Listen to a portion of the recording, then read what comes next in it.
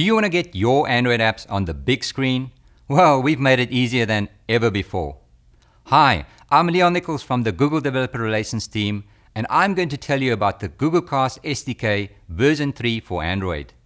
In June 2016, we launched the new version 3 API for the Google Cast SDK. The new Cast SDK simplifies several parts of the previous SDK and addresses the major pain points identified by content partners and developers like you. The new Cast SDK significantly reduces the amount of code needed by providing UI widgets that fully complies with the Cast UX design checklist. First, here is some terminology about how casting works. The Google Cast Sender application refers to an app on a mobile device or laptop and a receiver application refers to an HTML application running on Chromecast or other Google Cast receiver devices. Let's take a look at the typical lifecycle of a Cast Sender app. When the Sender app is launched, Cast receiver devices need to be discovered on the local network. Once the user selects a device, a Sender app will connect to that device and launch the receiver app.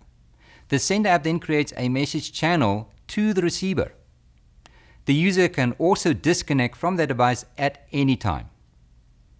The new SDK is based on the design of the Cast Companion Library and implements these new features.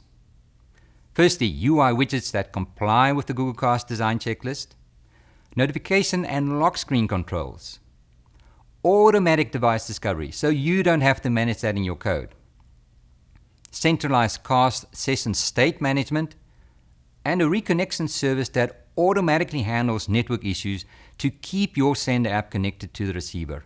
So even when the user leaves the room, goes out of the range of the network, the session will be automatically reconnected when the user returns. The Google Cast SDK is still part of Android's Google Play services and is shared across all Cast apps. The minimum Android SDK level that the Cast SDK supports is level 9 or Gingerbread. In Android Studio, make sure these necessary libraries are installed. Let's take a look at how to add Cast to your app. The Cast framework has a global singleton object, the Cast context, which coordinates all the Cast interactions. You must implement the options provider interface to supply Cast options needed to initialize the Cast context singleton. The most important option is the receive application ID, which you get from the Google Cast Developer Console. You can get to the Cast context instance by using the static get shared instance method. If you've used the V2 SDK before, you must be wondering where is the Google API client? That's not needed anymore to use Cast. Everything is done for you by the V3 framework. For your app's UI, the first step in supporting Cast is to add the Cast button. The SDK provides a Cast button widget that automatically manages its visibility and state and provides all the necessary dialogues for users to select and disconnect devices. The Cast button is implemented by the MediaRouter button from the MediaRouter version 7 support library. Like any action icon that you can add to your activity using an action bar or toolbar, you first need to add the corresponding item to your menu. Once you've done that, override the onCreate options menu method of each of your activities by using the Cast button factory to wire up the MediaRouter button to the Cast framework. When the user selects a Cast device using the Cast button menu, the new Cast session is started automatically by the framework. All the user interactions, including backing out of this menu, are handled by the widget. The list of devices is filtered based on the App ID configuration in the Google Cast Developer Console. For the Cast framework, a Cast session encapsulates the connection to a device, managing the receiver application, and initializing a media control channel for media apps. Cast sessions are managed by the session manager, which can be accessed via the Cast context. The Session Manager listener callbacks can be used to monitor session events such as creation, suspension, resumption, and termination of the session. To play media on the receiver, the Send app has to provide media metadata of the media stream. Here you can see how to set the media type, title, and images using the media metadata class. Here you can see how to set the media URL, stream type, and other metadata using the Media Info Builder class. The Remote Media Client class is then used to load that media stream on the receiver. The Send app then invokes commands such as play and pause using the Remote Media Client instance. The Send app can use the Session Manager listener callbacks to track the session state and determine to when to enable and disable the local media player. Playing media on the receiver is now a breeze.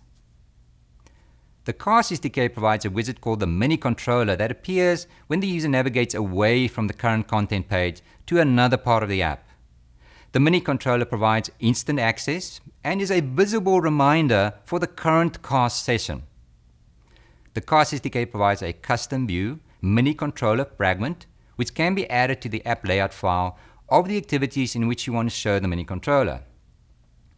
This is so much easier than the V2 SDK, where you had to create the mini controller yourself. The Google Cast design checklist requires a Send app to implement media controls from a notification and the lock screen. This allows users to always be in control of the media session with convenient playback control buttons.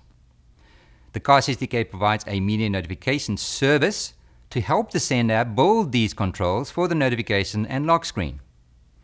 The media notification service will run in the background when the sender is casting and will show a notification with an image thumbnail, metadata about the current casting item, a play pause button, and a stop button.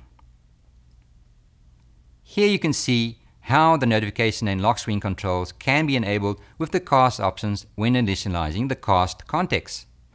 Notifications are then managed for your app by the cast framework. It's that easy. The Google Cast Design Checklist requires the Send app to provide an expanded controller for the media being cast. The expanded controller is kind of like a full screen version of the mini controller. The Cast SDK provides a widget for the expanded controller called the Expanded Controller Activity, which is implemented as an abstract class. To add an expanded controller, subclass Expanded Controller Activity and add a cast button. After you've done that, edit the cast options provider and change the notification options and cast media options to set the target activity to your subclass of the expanded controller activity. The expanded controller widget will save you a lot of code if you've used the V2 SDK before. Now that you've integrated Cast with your app, how do you tell your users about it? Well, the Cast SDK provides a custom view called Introductory Overlay. That can be used to highlight the cast button when it's first shown to the user. This code shows you how to use the introductory overlay builder to show the overlay in your activities. That's everything you need to cast enable your Sender app. You can get a lot more details about the Google Cast SDK at developers.google.com/cast. We've also open sourced several sample cast apps that you can use as a reference. If you have any developer questions, post those on Stack Overflow. Join our Google Cast developers community on Google Plus to keep up to date with the new SDK features. Happy casting!